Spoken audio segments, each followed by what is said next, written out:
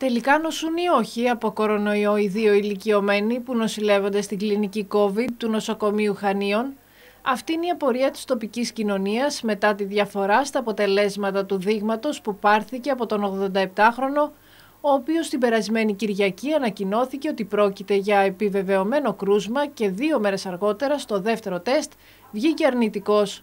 Σε καλή κατάσταση στην κλινική νοσηλεύεται από τη Δευτέρα και ο 76χρονος, τον οποίο το πρώτο τεστ ήταν θετικό στον κορονοϊό. Να θυμίσουμε ότι και οι δύο με διαφορά μίας μέρας είχαν επισκεφτεί το προηγούμενο διάστημα την καρδιολογική κλινική του Παγνή, ο ένας ως ασθενής και ο δεύτερος ως συνοδός.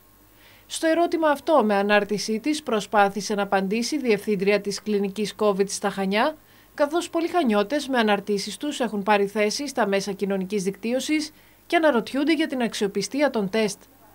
Όπως αναφέρει μεταξύ άλλων η Διευθύντρια της Κλινικής COVID, ένα δεύτερο δείγμα ρινοφαρυγγικού επιχρήσματος στον 87χρονο βρέθηκε αρνητικό για τον κορονοϊό SARS-CoV-2 και πολλοί έσπευσαν να πούν ότι τελικά ο ασθενής δεν είχε την νόσο.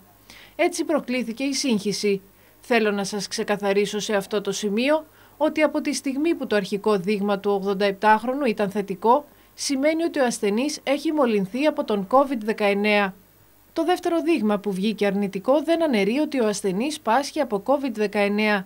Ο ασθενής πάσχει από COVID και το δείγμα ήταν ψευδός αρνητικό, είτε λόγω ότι το υλικό που πήραμε προς εξέταση δεν ήταν ικανοποιητικό, είτε ότι ο ιός έχει κατέβει προς το κατώτερο αναπνευστικό, οπότε δεν φάνηκε στο ρινοφαρυγγικό υλικό είτε τελικά ο ασθενής είχε πολύ χαμηλό υλικό φορτίο που σημαίνει ότι η νόσος βρίσκεται σε αποδρομή.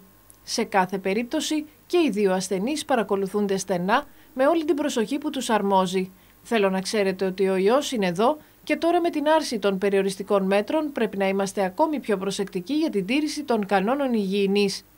Οι γιατροί της COVID κλινικής παρακολουθούμε με ενδιαφέρον τις εξελίξεις και είμαστε πανέτοιμοι να αντιμετωπίσουμε οποιοδήποτε περιστατικό χρειαστεί τη βοήθειά μας.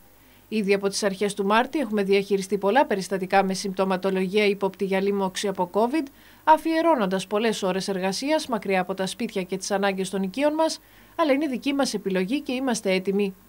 Στη μέχρι στιγμή συχνή λάτση τέλος, στις στενές επαφές των δύο ηλικιωμένων, δεν έχει βρεθεί κάποιο τεστ θετικό στον κορονοϊό. Η επανάληψη των δειγμάτων θα γίνει σήμερα τόσο στον 87χρονο όσο και στον 76χρονο.